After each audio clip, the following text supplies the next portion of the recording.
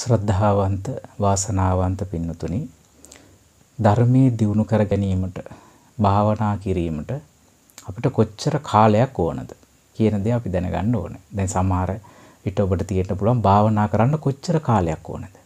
කොච්චර කාලයක් අපි භාවනා කරන්න ඕනද? භාවනාව පැයක් කරන්න ඕනද? භාවනාව පැය දෙකක් කරන්න ඕනද? භාවනාව පැය තුනක් කරන්න ඕනද? කොච්චර කාලයක් අපිට එච්චර කාලේ නෑනේ කියලා හිතනව නේද? එහෙම හිතනවනේ. අපිට එහෙම කාලේ නෑනේ. අපිත් ආසයි භාවනා කරන්න. භාවනාව කියලා කියන්නේ සතිපට්ඨානය කියලා කියන්නේ සිහිය පිහිටුවා ගැනීම. සතිපට්ඨාන කියන්නේ මොකද්ද? සිහිය පිහිටුවා ගැනීම. ඒකට සිහිය උපද්දවා ගන්න, සිහිය පිහිටුවා ගන්න තමයි අපි බණ භාවනාව පුරුදු වෙන්නේ. එතකොට ඒකෙදි කුසල් අරමුණක් ගන්නවා අපි. කුසල් අරමුණක් තුළ ටිකෙන් ටික හිත එකඟ වෙනකොට ඒකට කියනවා අපි සමාධිය. කුසල් අරමුණත් තුළ හිත ටිකෙන් ටික එකතු වෙනකොට ඒකට කියනවා අපි සමාධිය. ඒතකොට භාවනාවදී වැදගත් වෙන්නේ සමාධිය උපදවා ගන්න සිහිය පිහිටවා ගැනීම. සිහිය පිහිටවා ගන්නේ නැත්නම් අපිට අර කුසල් අරමුණක සිත එකඟ වෙන්නේ නැහැ. කුසල් අරමුණකට සිත එකඟ වෙන්නේ නැත්නම් අපිට සමාධිය ඇති වෙන්නේ නැහැ. සමාධිය ඇති වෙන්නේ නැත්නම් අපිට ධ්‍යාන ගැන කතා කරන්න දෙයක්වත් නැහැ. ධ්‍යාන ගැන කතා කරන්න දෙයක්වත් විදර්ශනා අවබෝධය ගැන කතා කරන්න දෙයක්වත් නැහැ. එහෙනම් ඉස්සල්ලා මොකද්ද කරන්න සිහිය පිහිටවා ගන්න ඕනේ. සිහිය පිහිටවා ගන්න තමයි අපි භාවනාවල් කරන කාලේ යොදාගන්නේ. ඒකට සිහිය වැඩි වෙලාවක් රඳව ගන්නවා භාවනා අරමුණේ. එතකොට මේ භාවනා අරමුණ තුළ හිත එකඟ වෙනවා. භාවනා අරමුණ තුළ හිත එකඟ වෙන්නේ අපි සිහිය පැවැත්වීම අනුව. අපි හිත එකඟ කරගන්න කැමතියි. සමාධිය ඇති කරගන්න කැමතියි. හැබැයි අපි සිහිය පවත්වන්න කැමති නැහැ. සිහිය පවත්වන්න කැමති නැහැ. අසිහියෙන් ඉන්නේ. දැන් වැඩපොළ කරනකොට වෙන වෙන දේවල් ගැන සිහියෙන් ඉන්නවා. අසිහියෙන් ඉන්නවා. භාවනා කරන්න ඉගෙන ගත්තාම ඒව හිතෙනවා. අසිහියෙන් ඉන්නවා. එතකොට සිත එකඟ වෙන්නේ නැහැ. සිහිය පිහිටවා ගන්න කොච්චර කාලයක් වුණාද? වැදගත් වෙන්නේ ඔබ භාවනා කරනකොට ඔබට සිහිය කොතරම් කාලයක් පවතිනවද කියන එක. සමහර අයට විනාඩි 5ක් වෙන්න පුළුවන්. සිහිය පවතින. ඒ කියන්නේ භාවනා අරමුණ සිහිපත් වෙන විනාඩි 5 එතනින් එහාට නිින්ද යනවා. සමහර අයට විනාඩි 10යි. සමහර අයට පැය කාලයි. සමහරට පැය භාගය, සමහරට පැයයි. ඊට වැඩි වෙන්නත් පුළුවන්. සමහර අය පුරුදු කරනවා පැයක්ම කරන්න. ඒක කාලයක් කරලා ඒක හරියන වෙලාවලුත් තියෙනවා. හරියනවා සමහරුන්ට. සමහරුන්ට එහෙම හරියන්නේ නැහැ. එතකොට එයා කරන්නේ Tamanට සිහිය පවතින කාලය තුල ඉස්සෙල්ලා පුරුදු කරගන්නවා භාවන. අපි හිතමු අපිට සිහිය පවතින විනාඩි 10යි කියලා. විනාඩි 10කට වැඩි සිහිය පවතින්නේ නැහැ. භාවන අරමුණ සිහි කරගන්න බෑ නිින්ද යනවා හිත හැකිලෙනවා. ඉස්සෙල්ලා අපි කරන්නේ කාලේ වැඩි කරන්නේ ක්‍රමානුකූලව. එකපාරටම ගිහින් පැය දෙකක් භාවනා කරන්න යන්නේ නැහැ. දැන් අපි හිතමු භාවනා කරන තැනකට යනවා. එතකොට අපි දකිනවා පැය 4 5 ඉඳන් ඉන්නවා කට්ටිය. අපි ගිහිලා එනං වෙලාව තියාගෙන බෙල් එක තියාගෙන ඔන්න ඉඳ ගන්නවා. මම පැය 4ක් ඉඳලා තමයි නැගිටින්නේ කියලා. ඔන්න ඉතින් මේ පැය භාගයක් විතරදී හිත විසිරලා, නිින්ද ගිහිල්ලා, එතකොට කෙල පෙරිලා, ඊට පස්සේ මේ එතන වැටිලා, නිින්දත් ගිහිල්ලා, මොකද උනේ කියලා තමයි මතක නැහැ. කරපු භාවනාව මතක නැහැ. කොහෙද ඉන්නේ කියලා මතක නැහැ. ඊට පස්සේ කියනවා මං ගොඩාක් කාලයක් භාවනා කරා කියලා හිතනවා. වැඩක් නැහැ. මොකද අසීහින් එයා ඉඳලා තියෙන්නේ. සිහිය පවත්වගෙන භාවනා කරන පුංචි කාලේ වුණත් වටිනවා. ඒ නිසා ඉස්සරලාම ආරම්භයේදී කෙනෙක් අපිට පොඩි කාලයක් තුළ සිහිය පවත්වන්න පුරුදු වෙනවා. විනාඩි 10ක් හරි පැය කාලයක් හරි අපි භාවනා කරලා පුරුදු වෙනවා. ඒ සිහිය පවතිනකොට දැන් අපිට කාලයක් කරද්දි තේරෙනවා දැන් මට විනාඩි 10ක් පාලා හොඳට භාවනා අරමුණ හිතේ පවතිනවා. අන්න ඒක තීරුම් අරගෙන අපිට තව ටික වෙලාවක් වැඩි කරගන්න පුළුවන්. භාවනා කරන්නේ භාවනාව ගොඩක් වෙලා කරනවා කියලා ආඩම්බර වෙන්න නෙමෙයි. එහෙම නැතුව භාවනාව මම ගොඩක් වෙලා කරනවාය කියලා අනිත් අයට පෙන්වන්න නෙමෙයි. දැන් භාවනා වැඩමුළුවට ගියපුවාම ගොඩක් අයට හිතන එකක් තමයි දැන් මම කෙටි කාලෙකින් නැගිට්ටොත් අනිත් අය හිතයි මට භාවනා කරන්න බෑ කියලා. අපේ ලැජ්ජාවයි. කියලා ඉතින් දත් මිටි කාගෙන අර දනිස් කඩාගෙන ඉන්නවා යා. ඒක වීරිය හොඳයි. හැබැයි එයාගේ හිත විසිරිලා තියෙන්නේ. ඊට පස්සේ කාම අරමුණු සිහිපත් වෙනවා. දේශ අරමුණු සිහිපත් වෙනවා. ඉතින් ඒ සමහර අයට වෙනවා කාලේ වැඩිපුර ඒගොල්ලෝ කරන්න කියලා හිත හැකිලෙනවා. භාවනා අරමුණකුත් නැහැ, විචි දෙයක්කුත් නැහැ. භාවනාක වගේම ඉඳගෙනමත් ඉන්නවා. නිින්ද ගිහිල්ලත් නැහැ, හිත හැකිලිලා. මොකක්ද ඒ වුනේ කියලා දන්නේ නැහැ. ඊට පස්සේ කියනවා මම කොහේ ගියාද දන්නේ අද නම් භාවනාවක් කරන හරි සනීපයක් දෙනවා. හැබැයි භාවනා අරමුණක් නැහැ. කොහේ ගියාද මන් දන්නේ නැහැ කියලා කියනවා. ඉන්න තැන මතකත් නැහැ. සිහිය නැති වෙලා, හිත හැකිලිලා. එයා හිතන එක භාවනායි දියුණුවක් කියලා. නෑ.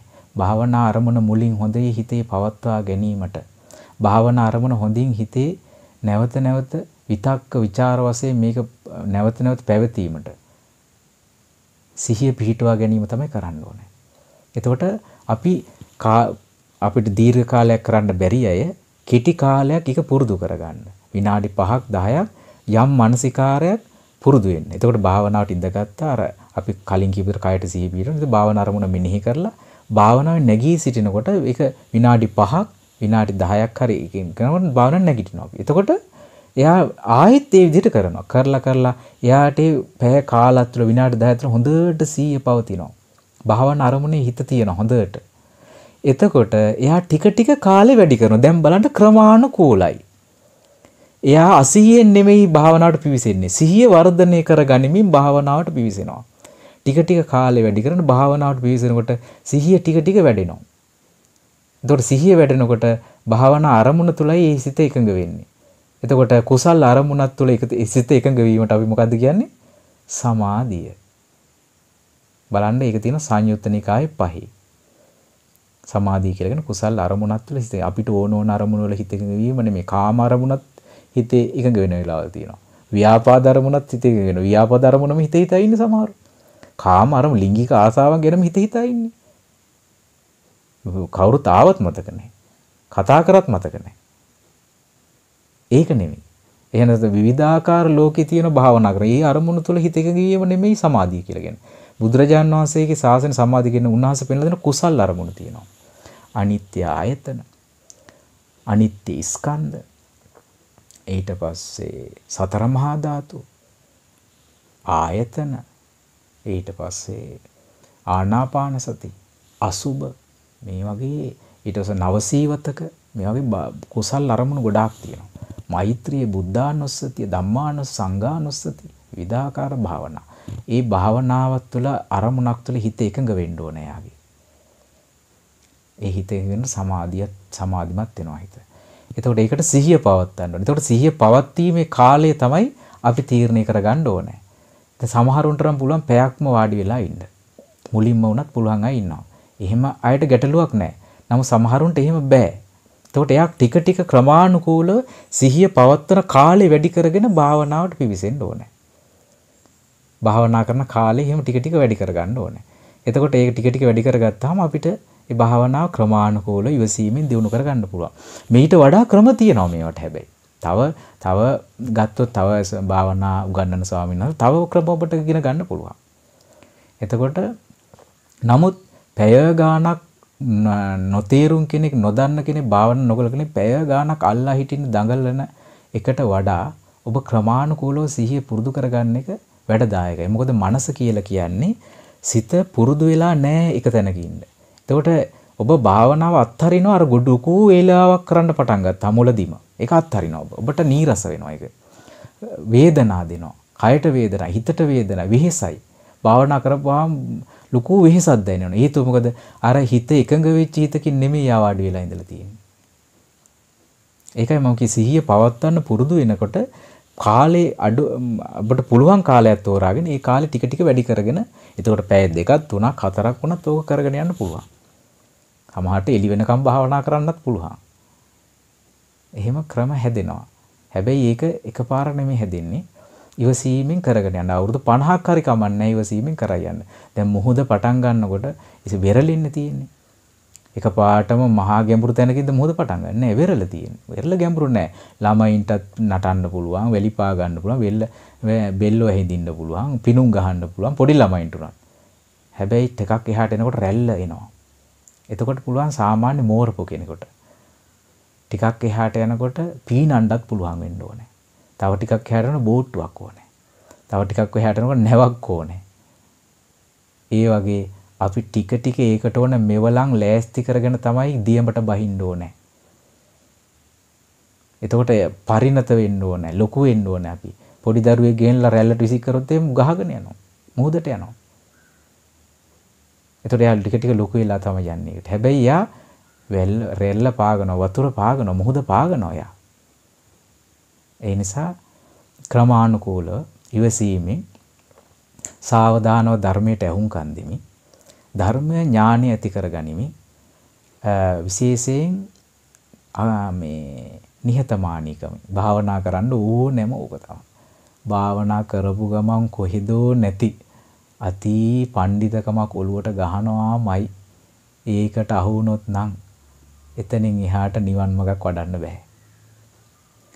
ධර්මයේ ටිකක් ඉගෙන ගන්නකොට පටිසම්පාදේ අභිධර්මයේ ටිකක් ඉගෙන ගන්නකොට මොකද්ද අහංකාරයක් එනවා හිතට. අන්න ඒ අහංකාරය නම් දුරු කරන්න ඕනෑමයි. නැත්තම් නම් භාවනාව දියුණු වෙන්නේ නැහැ. සමහර ගිහි අය විනයත් කියවනවා. භික්ෂුන් වහන්සේලා විනය කියවලා ඇවිල්ලා එක එක හාමුදුරන් යද හොයනවා. එතනින් එහාට ධර්මාර්ගය ඉවරයි. මොකද හේතුව එයාට අදාළ දෙයක් නෙමෙයි. අනේ ඊට පස්සේ එයාට සංඝයා කෙරේ ගෞරවය නැතිලා ඊට පස්සේ එයාට බැන බැන බැන බැන ඉඳලා කුසල් වැඩිලා වැඩිලා වැඩිලා අන්තිමට අපායි මරණම් පස්සේ പ്രേත ලෝකෙ. දැන් බලන්න සුදුසු ධර්මයන් පාවිච්චි කරන්න, අදාළ ධර්මයන් සේවනය කරන්න, අදාළ ධර්මයන් තුල සේවනය කරන ඔබේ සිත පිරිසුදු කරගන්න. ඒක ඔබට දුකින් නිදහසට උපකාර වෙනවා. හැම දිනාටම තිරුවන් සරණයි.